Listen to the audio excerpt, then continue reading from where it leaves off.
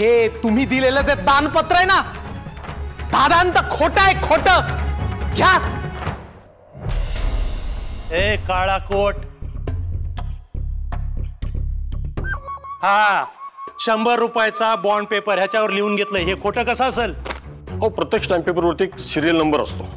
तेवढा जरा तपासून बघा तुम्ही. जर हे दानपत्र तुमच्या वडिलांनी म्हणजेच गोविंद महाराजांनी आणि सावता वाडेकर यांनी बनवलं असेल तर ते तर तीस वर्षापूर्वीचं असायला पाहिजे.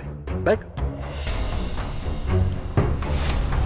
हा मग कारण की सावता वाडीकर हे तर तीस वर्षापूर्वीच वारले आहेत अरे मग काळा कोट तीस वर्षांपूर्वीचाच कागद आहे ना हा. कितीदा सांगू? तू गोल गोल घुमवतो का मला?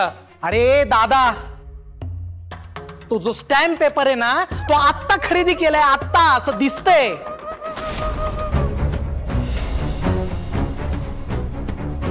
मग त्याच्यावर सही करायला सावता काकांचा आत्मा काय स्वर्गातून खाली आला का?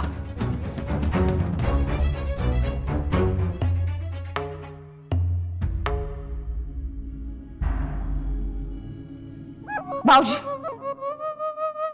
तुम्ही कशावरून बोलताय हे? हो कशावरून म्हणजे?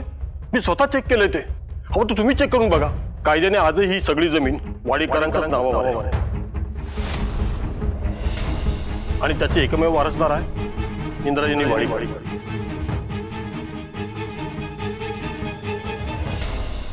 ए व्यंक्या तूही ग्यामा करतोय आणि तुझा वकील पण. हा. हा. तुम्ही असं करा.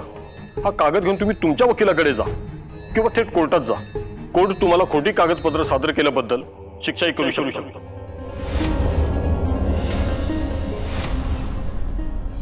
तेव्हा याची तयारी ठेवा.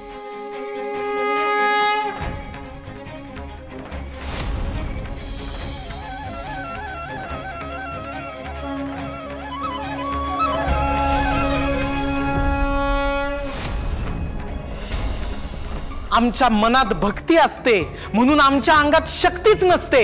या गैरसमजात कुणीही राहू नका पश्चाताप करण्याची वेळ येईल बरं. ही सगळी स्थावर मालमत्ता इंदू सोपान वाडीकरची होती. आता पण आहे आणि इथून पुढे तिचीच असेल.